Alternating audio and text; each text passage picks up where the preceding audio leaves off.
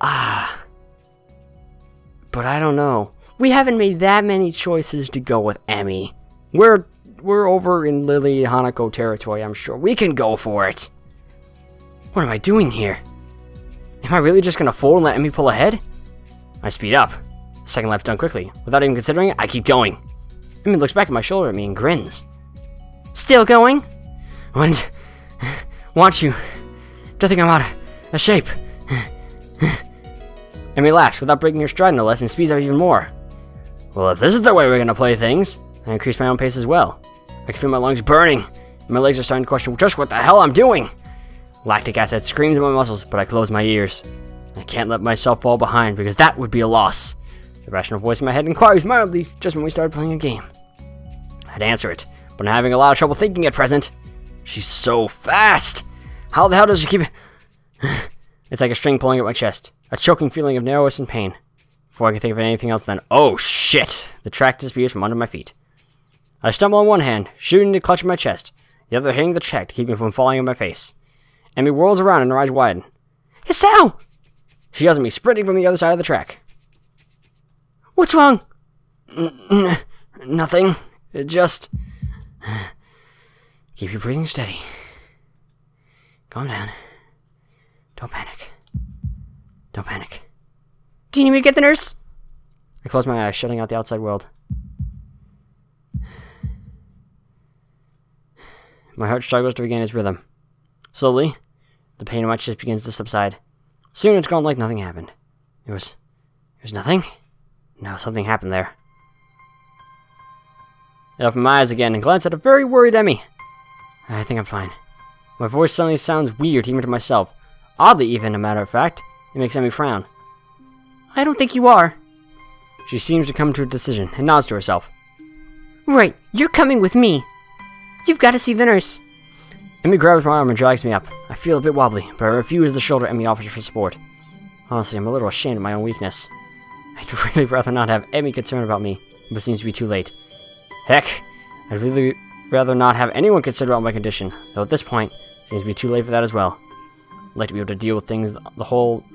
I like to be able to deal with the whole thing on my own, without being a bother to anyone else. While I'm wishing for things, I'd rather not have this condition in the first place. Nurse! And he crashes into his office without knocking, but it doesn't alarm the nurse in the least. Good morning, Sunshine. What's up? Sunshine. Anyway, he calmly sips from his coffee mug, but lays it down after following Emi's gaze to me, looming in the doorway. Hey, Sal, what brings you here? We were running, and he stumbled over and started grabbing at his chest, and I thought I should come get you, and I... Easy there, Emi. Calm down. You saw what happened? I don't know. We were running, and then my chest started hurting, like that time before, but it went away after a few seconds. Was just a flutter or something. There's frowns, as if to say that just a flutter is some kind of oxymoron. I didn't mean quite this when I suggested to get some exercise. You've got to be more careful, Sal. I was being careful, I just... Come to think of it, I just got into a race with a member of the track team doesn't seem as well reasoned as I thought it would. You just what?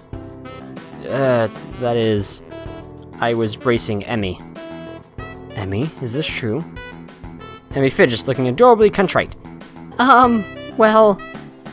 Finally, she can't seem to bring herself to say it aloud. Emily nods. Then his nurse sighs and rubs at his forehead with one hand entirely. Emi, you've got to be more sensitive to the limits of others. I don't know if he...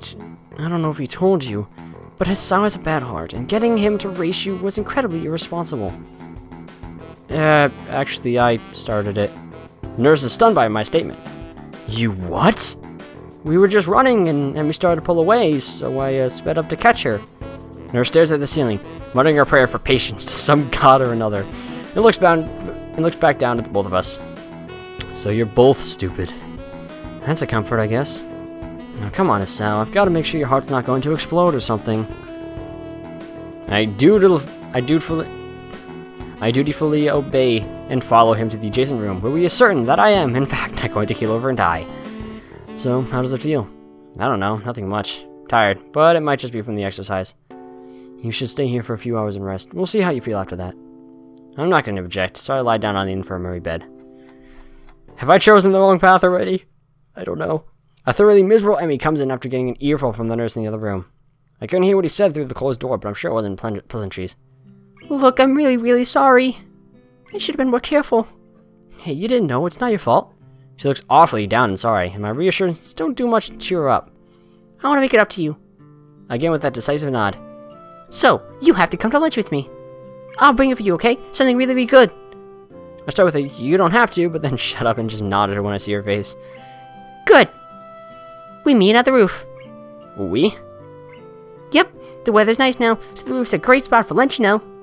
I see. You'll come, right? You won't deny me the chance to make it up for you? Of course not. Great, see you there. I guess I'm going to the roof. I stay afloat somewhere between asleep and awake, feeling completely drained. Not only my body, but all of me is limp and paralyzed, apart from my senses. I swallow with difficulty and then try to lie as still as I can, which in this state is not a very hard thing to do. The nurse is shuffling around on the other side of the curtains. She drew to give me some privacy. I can see his shadow shifting about in the sunlight. He has opened the window of his office. It's windy outside. The clean white curtains flutter in the breeze in a heavy, lazy motion, like waves. Light sifts through them slowly, half absorbing into the fabric. Alright, I guess we're gonna sleep for a little while. I close my eyes. The breeze on my face feels like the soft fabric of the curtains. Listen to the sound of my heartbeat for a moment, trying to shut out the sound of the nurse tapping away on his computer and my own heavy breathing. It's steady. Damn it. Not even a week and I end up like this again. I really screwed up this time. Should have known better than to play the half-baked sports star in front of a real one. Why'd even try to act brave? Like that heart filler was no big deal, even when it was obvious that it was. It was just a reflex to push it away, to keep it inside. I didn't want it to happen. I didn't want Amy to see it. Ah, stupid, stupid, stupid! I have to be more careful. I end up in the hospital again, or worse. That's my final thought before I give in to the tiredness.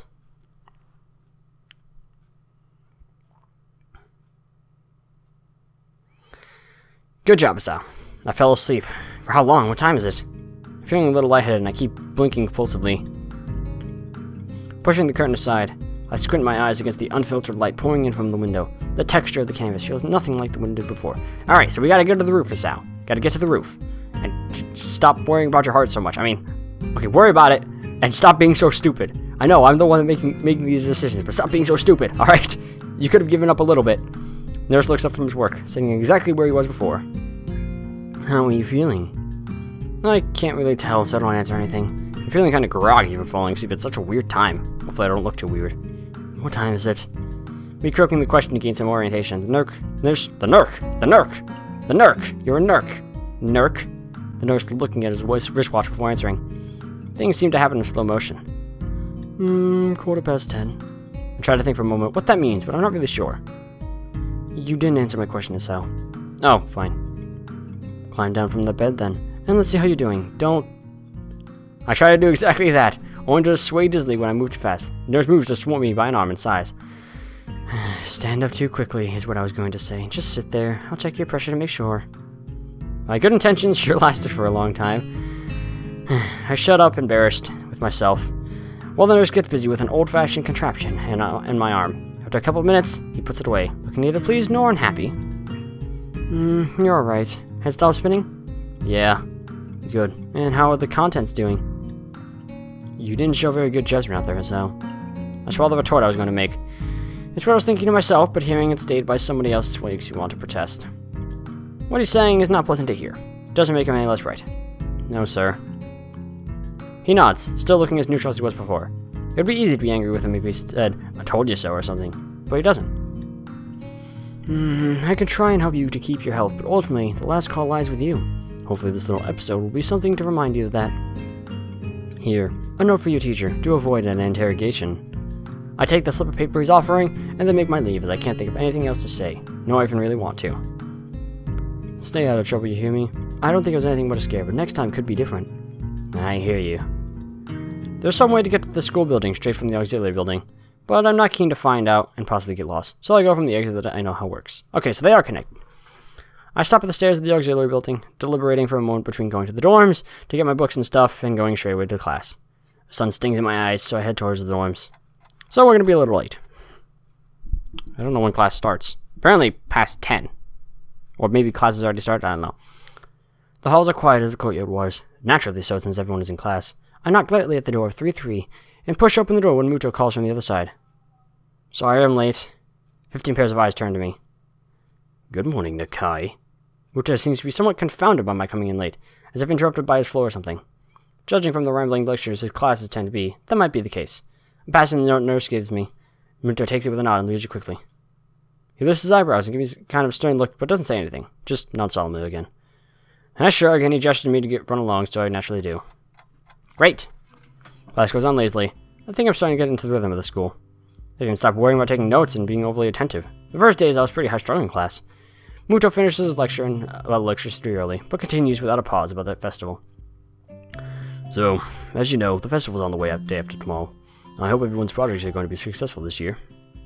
Have a good time, but also come Sunday, please remember the meaning of this festival in your minds. Games and fried food. Everyone burst out in laughter. So do I. Yes, thank you, Mikado. Hmm, But what I mean was more the... The remainder of his sentence is buried beneath the ringing of the lunch bells, and everyone starts packing up their things. which Muto deliberates for a moment, but since almost nobody seems to pay attention anymore, he gives up and sits down. I kinda wanna know what this festival is about, but whatever. It's crowded in the hallway, or as crowded as hallways in the school probably get. Most of the students should be heading most of the students seem to be heading down for the cafeteria. Normally, I'd join the flow and grab a lunch myself, but today is different. Today, I've been invited to lunch on the roof. An odd location, but that's where I was told to go. Fortunately, I managed to find shelter from the storm and leave the classroom door. Eventually, the torrent subsides, and I step tentatively out into the hallway. Only to be met by Emi, who comes flouncing down the hallway like a cannonball. Hey, hi Hisao. Great timing. Ah, you're actually in your uniform. I have super extra lunch today. As promised, let's go upstairs. The stairway to the roof is a little dilapidated, but it's clearly been used recently. At the top of the stairs is a door, complete with missing padlock. I wonder who the intrepid individual was that removed the lock. Hmm. Emi shoves the door open and steps beaming into the sunlight. Suddenly, a tall, dark stranger appears out of nowhere, standing imposingly in front of us. Emi flinches back, almost falling back down the stairs. Eek! Hello? Yipes! You scared me, Rin. Wait, isn't she... Hello? Noticing that Rin is speaking to me, Emi looks curiously at me. You two know each other? I look confusedly at Emi. She's that friend of yours? Rin has turned her gaze towards the clouds drifting above the school. I didn't know you knew this person, Emi. Wow. The awkward silence lasts only a few seconds until Lemmy and Lemmy! Lemmy! You are now a Lemmy! Lets out a tiny giggle, shrugging the coincidence off. I invited Hisao for lunch. If you know him, that's just better. Oh? Does this mean I don't get food? Or did you invite him for lunch without the lunch? Er, neither. I have food for three. Nice thinking. They walk to the other end of the roof while I stay at the clock tower for a while, taking in the atmosphere. There's nobody else but us here. I guess the roof is not as popular as it is in the other schools. A few rundown benches and tables are scattered around the edges. I, I don't see any, but okay. Perhaps in an attempt to make the rooftop look less desolate. But didn't you just say that there was a padlock, which means people aren't supposed to be up here in the first place? Unless I and Rin brought them up here. The small pebbles covering the roof up beneath our feet. I peek through the chain link fence to take a look at the school grounds and beyond. Students are strolling in pairs and groups around the quadrangle and at the cafeteria. A few delivery trucks are passing the school towards the convenience store nearby. Somewhere, a watchdog barks at a passerby. Somehow, when I look towards the town center, the small town feel strikes me very strongly, almost palpably. The hectic lifestyle of big metropolises seems so far away and foreign here. Nobody has to run and catch a bus like their life depended on it or get their senses overloaded by the neon lights and traffic jams. I feel surprisingly optimistic about this new life of mine. Looking at my new hometown, even if it's going to be mine for only one short year. Finding about my illness and not having to move away from home all came so suddenly that I haven't had the time to think about how I feel about it. When I step out of the shadow of the clock tower to the open, I feel the warmth touching my back. The sun shines from a perfectly clear cerulean sky. This is not perfectly clear at all, but I guess it's partially cloudy. A cool breeze sweeping over the rooftop makes me shiver, but only briefly. The wind carries the scent of trees and flowers, not smog and car exhaust like it used to just a few weeks ago. Emi settles on a branch, with Rin in tow, and produces one big and two small lunchboxes from her bag. Come on, Hisao. What are you waiting for? She's beckoning me to join them, making room on the already small bench. I see myself on the corner of the bench to take as little space as possible. It's pretty cramped, but somehow all three of us fit on it. Impressive view. Emi suppresses a giggle and places the lunchbox in front of Rin and hands another lunchbox to me. Here you go. Lunch as promised. Oh, Homemade no less. I'm impressed. Oh, wow, this looks really good. Thanks. I'm making myself when I can. Conversation dies off. Conversation dies off as I set about the business of feeding myself. Taking a few bites, I glance up and notice Rin deftly opening the lunchbox and popping a forkful of food in her mouth, using only her feet. Even though I've seen her do it before, I can't help but be impressed at her dexterity. It's also a reminder of the sort of place I'm in right now. Will I ever get used to sights such as this? We're trying to, Hisao, if you would stop bringing them up! I can't decide if getting used to such a thing would be a good or a bad thing. Good! Clearly good, considering we're going to be in this class, or this school for a whole year, at least less than a year? I don't know how long we're going to be here. We transferred in like half the year, right? Does getting used to this place means I'm giving up on being a normal person? They're all normal! Or does it just mean I'm becoming more understanding about those around me? Yes, that one, that one. I'm distracted from my thoughts by the sight of Emi tearing into the lunch, as if it had insulted her ancestors. You seem pretty hungry. Emi looks up, mouth half full, and smiles before nodding. My morning run always works up an appetite. Which is great, because then I burn through lunch pretty quickly. Helps me keep my girlish figure. Hmm, what would happen if you lose it? Would you become a man? I very, I very nearly choke on my lunch trying not to laugh. It's a figure of speech. Hmm. Does your figure have to run in the mornings too? Do you always talk like this? Like what? I think that answers my question. Never mind. So, uh, I struggle with thinking of small talk instead of on the obvious question. How'd you two meet? Rin seems content to let Emi answer this question.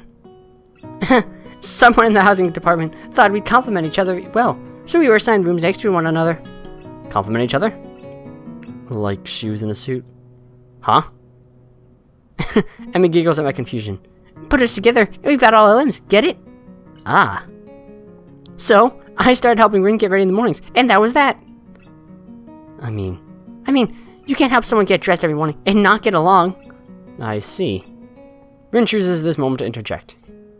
I have trouble with shirts. Right, that seems fairly obvious. Really? Kind of? This isn't helping, but at least Emi seems to find the whole thing funny. That, combined with the fact that Rin is generally curious, makes me feel slightly better and yet confused. I mean, you've got no arms. So, uh, putting on a shirt seems like one of those things that would be difficult. You know, I'm just gonna stop talking now. It'll save me a lot of trouble in the long run. Rin nods in what I suspect is meant to be a sage manner. Are you, like, always stoned or something? I'm sorry, Rin, but... Hmm, I see. The conversation dies as I turn my attention back to my lunch. It's really quite good. When he finishes her lunch first, it makes a contented noise. Ah, that was good! As she busies herself with cleaning up her lunch, Rin speaks up. I'm thirsty.